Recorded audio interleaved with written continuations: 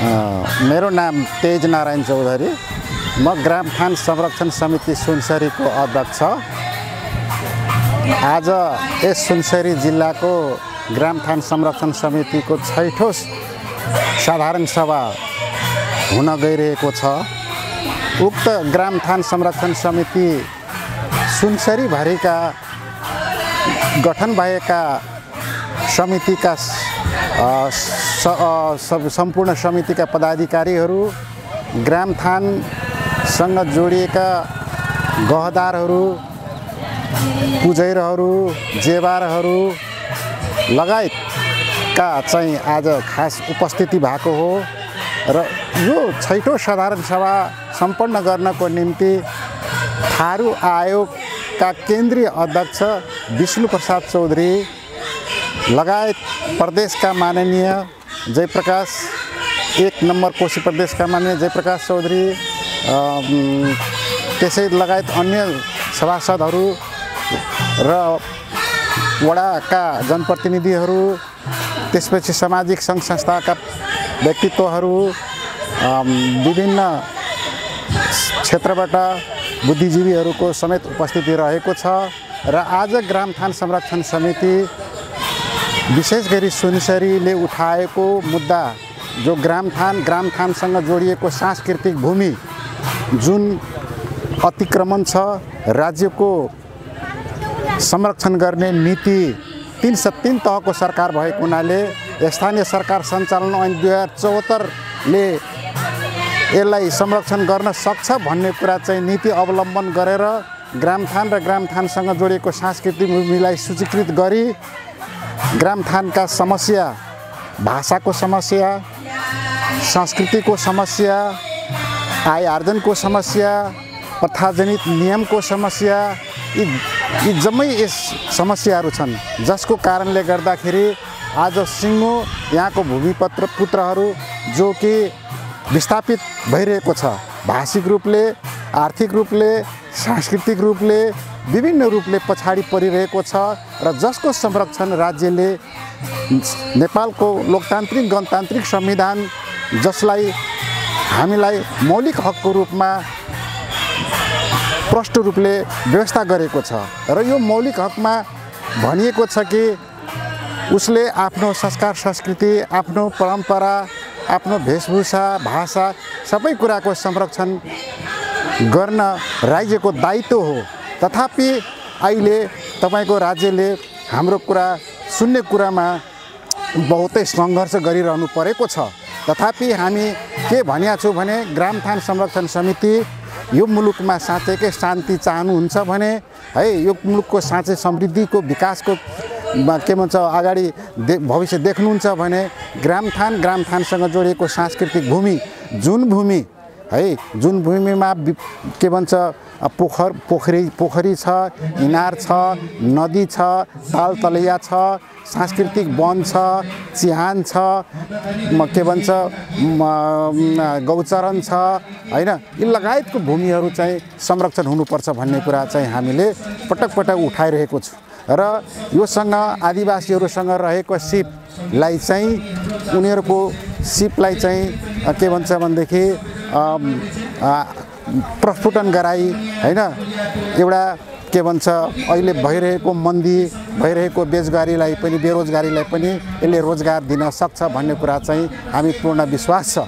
हिजो यहाँका धरतीपुत्रहरू आत्मनिर्भर थिए र आफू मात्रै होइन सिङ्गो नेपाललाई आत्मनिर्भर बनाएको थियो होइन? तर आज विशेष गरी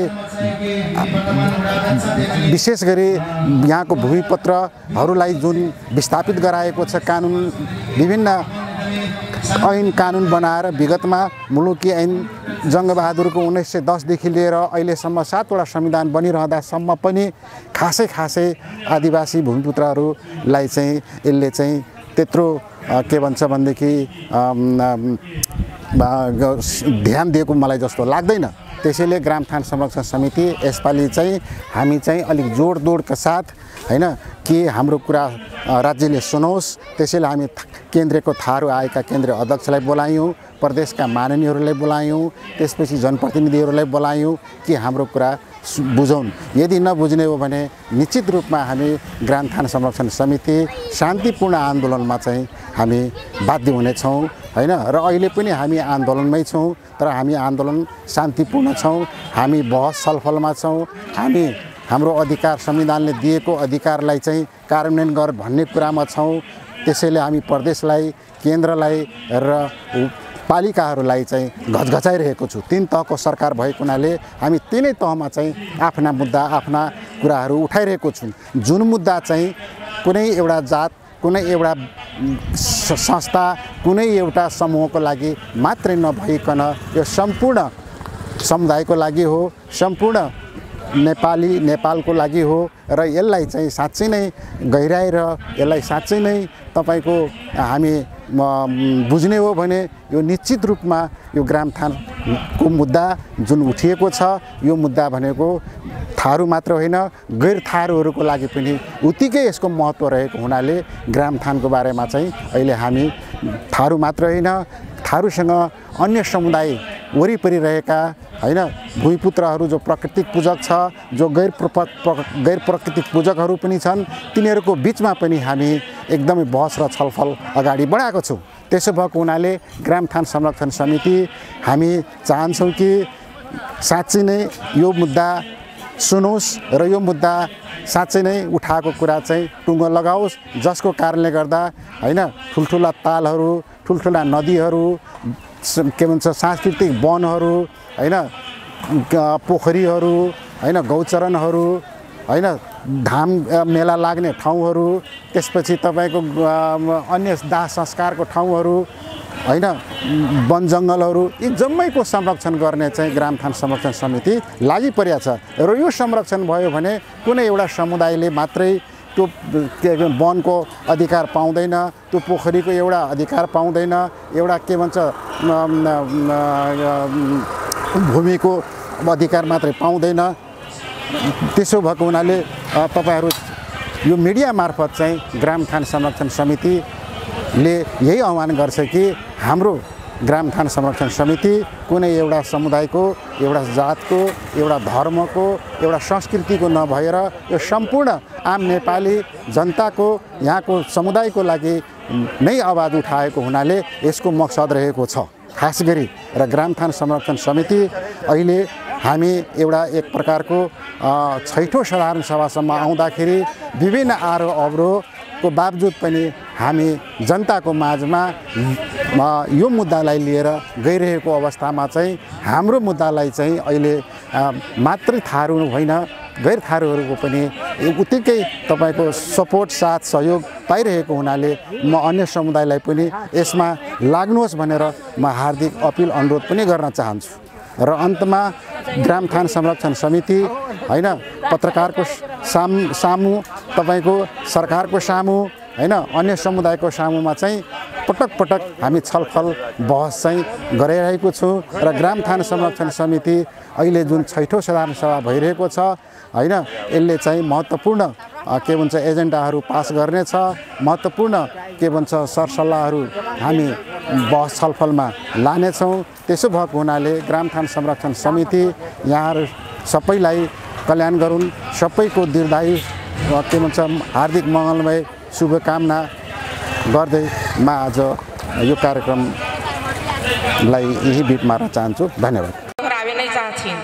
हमर सके सौ से पहिना त थारू सँगै जोड्ल धरोहर जोड्ल हमर साके प्रथाजन्य जेरा हमर साके ग्राम ठान छेउटाका लागि संरक्षण करे लग्नी। अगुवा व्यक्ति सबके नै सम्पूर्ण हमर सानके हाथे मालो गरिके जेबे तखने हमरा सानके संरक्षण हावे साक्षी।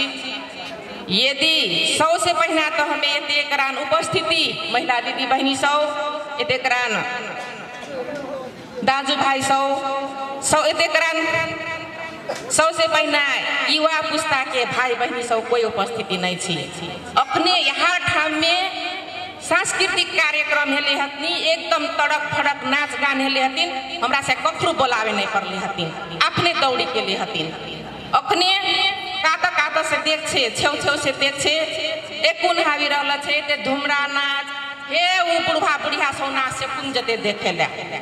सबसे पहिला तो हमें नाच गाना करछी नी हमें अपने गाना अर्थ नहीं बुझी रहल छी ने तो हमरा लाग छी अखने उना युवा पुस्ता सोते काम उपस्थित नहीं हल छी काम की चेतना नहीं छी।